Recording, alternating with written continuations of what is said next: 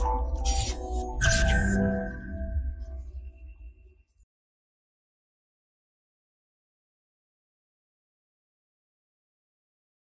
दोस्तों this is Vishakha Daga coming up with next round of new simplified 1990s में case हुआ। India ने USSR से cryogenic engine मांगा। तो यूएसएसआर ने इंजन तो दे दिया पर टेक्नोलॉजी ट्रांसफ़र करने से मना कर दिया। वो दिन था और आज का दिन था। आज हमने वो क्रायोजेनिक टेक्नोलॉजी खुद डेवलप कर ली। क्यों? क्योंकि हम तो रिवर्स इंजीनियरिंग में माहिर हैं। हमें टेक्नोलॉजी दे दो तो हम उसका ढांचा तैयार कर ही लेते हैं।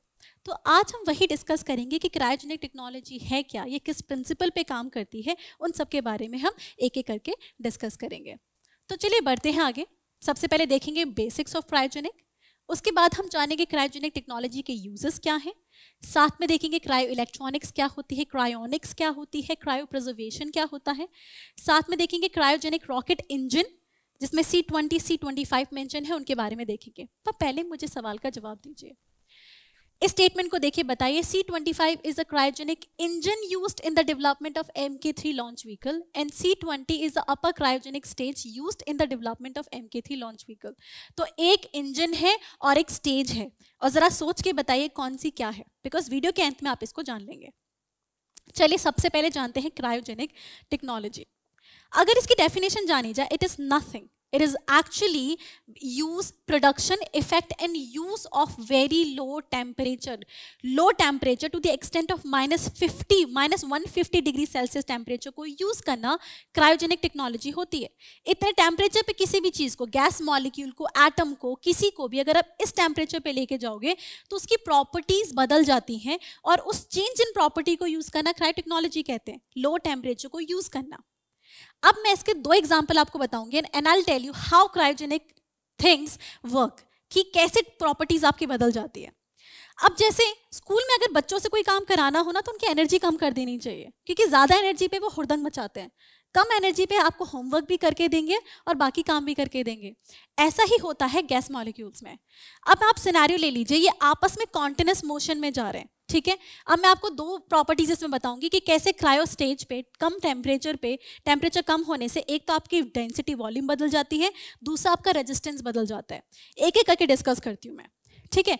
अब ये देखिए सबसे पहले लेते हैं आपका आ, ये कि स्पेस कैसे कम होता है। अब इमेजिन कीजिए अगर गैसेस मॉलिक्यूल को ये कंटेनर में लिया हाई टेम्परेचर में इनके पास हाई एनर्जी होगी और हाई एनर्जी की वजह से कंप्लीट कोलिजन में रैंडमली ऐसे मूव करते रहेंगे। ये देखा है इनको? अब ये इतना मूव कर रहे हैं तो इनके पास या बॉन्ड नहीं बनाते। अब इमेजिन कोई ऐसा इंसान है जो कि पूरा वर्ल्ड का भ्रमण कर रहा है। अब उसके ना रिश्ते कम होंगे, क्योंकि वो इतना मूव कर रहा है, वो अकेले होगा। आज कल दोस्ती बनाई, कल कंटिन्यू नहीं कर पाएगा। लेकिन वहीं अगर एक इंसान एक जगह पर रह जाए तो पड़ोसियों से दोस्ती करेगा। चार दिन बाद चार पड़ोसी से और दोस्ती करेगा। पता चलेगा धीरे धीरे वो सबको जानता है। ऐसे ही मॉलिक्यूल्स में होता है कि गैसेस मॉलिक्यूल इतने रैंडम मोशन में होती हैं कि उनके बीच में बॉन्डिंग नहीं होती। लेकिन अगर हाई टेम्परेचर से लो टेम्परेचर पर इनको लाया जाए टेम्परेचर चेंज कर दो। टेम्परेचर चेंज करने से क्या होगा? एनर्जी इनकी खत्म हो जाएगी। एनर्जी खत्म हो जाएँगे तो बेचारों को रुकना पड़ जाएगा अब। अब रुकना पड़ जाएगा तो इनके बीच में बॉन्डिंग शुरू हो जाएगी। बॉन्डिंग शुरू होने से ये एक दूसरे के पास आने लगेंगे। पास आने से क्या बदल जाएगा? स्टेट ऑफ़ मैटर बदल जाएगा। क्योंकि जब ये दूर दूर थे तो ये गैस थे। पर जब आपने इनकी एनर्जी कम कर दी दूर दूर थे, कोई रिश्ते नहीं बनाते थे एक दूसरे से। पास लेकर अब इनको रोक दिया, इनकी एनर्जी कम कर दी। एनर्जी कम कर दी तो थम गए थम गए तो बॉन्ड बनाने लगे। बॉन्ड बनाने लगे तो स्टेट ऑफ़ मैटर बदल गया। सॉलिड से लिक्विड हो जाएँगे और लिक्विड से गैस इससे क्या होगा? और हमने देखा है कि इस तरफ़ से इस तरफ़ जाते तो डेंसिटी बदलती है। आपका कम स्पेस ऑक्यूपाई करते हैं। आपका वॉल्यूम कम हो जाती है।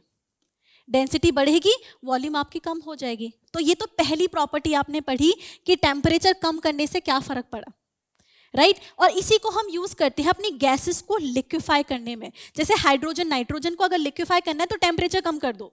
वो माइनस वन डिग्री के आसपास आपकी लिक्विफाई होती है। जैसे नाइट्रोजन माइनस वन हाइड्रोजन आपकी माइनस टू पे जाके फाइनली बॉन्डिंग बनाएगी और लिक्विड में कन्वर्ट हो जाएगी। ये था पहला इफ़ेक्ट दूसरा मैं आपको बताती हूँ इलेक्ट्रिसिटी अब ये देखिए, ये कॉन्टिन्यूस मोशन में है। अगर यहाँ से इलेक्ट्रॉन पास करने की कोशिश करेगा तो पॉसिबिलिटी है वो कितने कोलिजन्स ना सफ़र कर सकता है इसमें। देखिए, कितने कोलिजन इसके हुए ना। इस कोलिजन से क्या होता है? इसको कहते हैं रेजिस्टेंस कि इलेक्ट्रिसिटी क्या होती है? कितनी आसानी से इलेक्ट्रॉन एक कॉर्नर से दूसरी कॉर्नर में जा सकता है। और जितना इसको पार्टिकल बीच में मिलते रहेंगे, उतना ही इसका रेजिस्टेंस होगा, इसको प्रिवेंशन होगी। लेकिन अगर बाय द वे ये फ्रीज हो जाए, अगर ये फ्रीज हो जाए अपनी स्टेज में तो इलेक्ट्रॉन आसानी से मूव कर पाएगा, उसको रेजिस्टेंस कम मिलेगा। तो दूसरा आपने क्या देखा? इनकी एनर्जी कम करने से, इनको स्टेशनरी करने से इलेक्ट्रिसिटी कम हो, आपकी कंडक्टिविटी बढ़ जाती है रेजिस्टेंस कम हो जाती है। आप समझ में आया? This is how cryogenic technology works cryogenic technology works on the principle that if you अगर आप टेम्परेचर कम करते हो तो एनर्जी कम होती है मॉलिकुलर मोशन आपका कम हो जाता है, वो रिलेटिवली स्टैटिक हो जाते हैं। और ये स्टैटिक होने की वजह से आपकी प्रॉपर्टीज़ बदल जाती है। जैसे हमने क्या देखा? रेजिस्टेंस हमने देखा क्या? कंडक्टिविटी और हमने क्या देखा? Density and volume of state ना इसी को हम यूज़ करते हैं डिफरेंट डिफरेंट मैथड्स में। जैसे आपका कहाँ कहाँ यूज़ होते हैं? आपके यूज़ होते हैं फ़ूड इंडस्ट्री में। फ़ूड अब जब स्टैटिक मैटर आ जाएगा तो खून जहाँ चल रहा है, वो वहीं रुक जाएगा।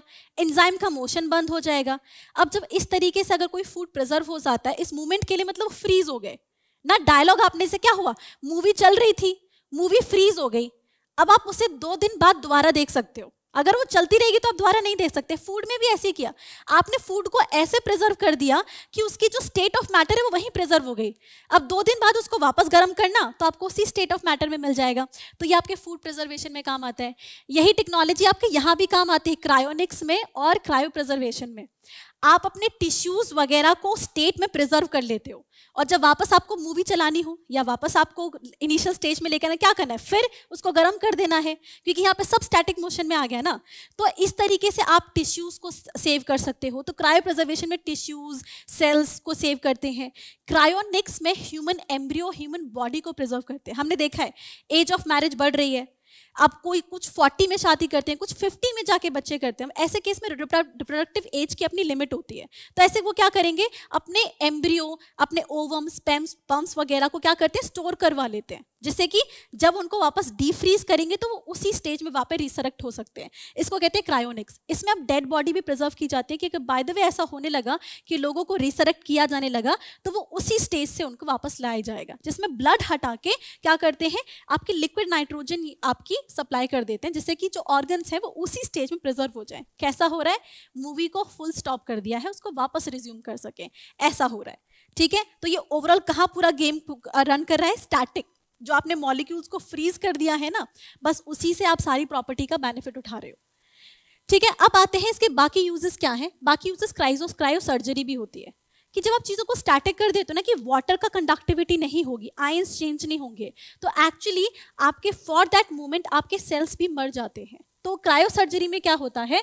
आपके अगर ट्यूमर में कुछ इन्फेक्टेड सेल्स हैं, कुछ नहीं हैं तो जो इन्फेक्टेड सेल्स हैं, उसको टेम्परेचर से क्या करेंगे? टेम्परेचर कम करके उनको मार देंगे। तो ये आपके क्रायो सर्जरी में काम आता है।